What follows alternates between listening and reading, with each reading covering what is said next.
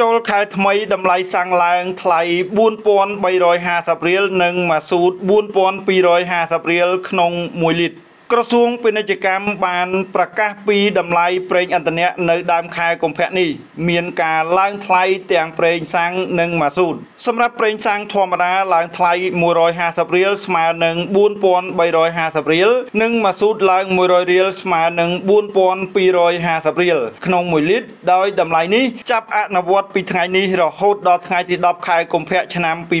2024នេះបើតាមសេចក្តីជូនដំណឹងរបស់ក្រសួងពាណិជ្ជកម្មនៅថ្ងៃនេះអ្នកនាំពាក្យក្រសួងពាណិជ្ជកម្មលោកប៉ែនសុវិជាតិបានថ្លែងប្រាប់អ្នកសារព័ត៌មានឲ្យដឹងថា បច្ចុប្បន្ននេះប្រេងឥន្ធនៈដែលកម្ពុជាប្រើប្រាស់បាននាំចូលពីប្រទេសសង្ហបុរីថៃនិងវៀតណាមក្រុមហ៊ុនលក់រាយនៅកម្ពុជាដែលនាំចូលប្រេងឥន្ធនៈមានដូចជាក្រុមហ៊ុនតេឡាសូគីមិចប៉ាប៉ាសាវីមិចលំឡុងនិងក្រុមហ៊ុនមួយចំនួនទៀតចំណែកក្រុមហ៊ុនបរទេសដែលនាំចូលប្រេងឥន្ធនៈមកស្រុកខ្មែររួមមានក្រុមហ៊ុន Total កាលតិចនិងក្រុមហ៊ុន PTT